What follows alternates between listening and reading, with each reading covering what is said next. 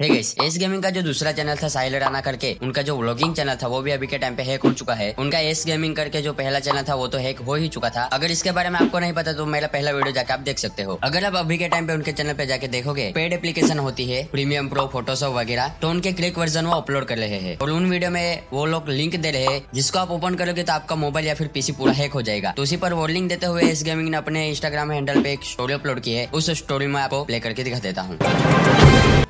भाई लोग, ये वाला जो अपना चैनल है व्लॉगिंग वाला, साहिलाना करके, ये चैनल हैक हो चुका है और इस पे अभी जितनी भी ये दो वीडियोस आई है, ये वीडियोस मैंने नहीं डाली हैकर नहीं डाली और साथ में इसमें डिस्क्रिप्शन में लिंक वगैरह कुछ ऐसे दिए हुए जिससे कि आपको मोबाइल फ़ोन या फिर बहुत कुछ चीज़ें हैक हो सकती है। तो प्लीज़ अगर इस चैनल से कोई भी वीडियो या लिंक मिले या कुछ भी मिले तो कहीं पर भी क्लिक मत करना और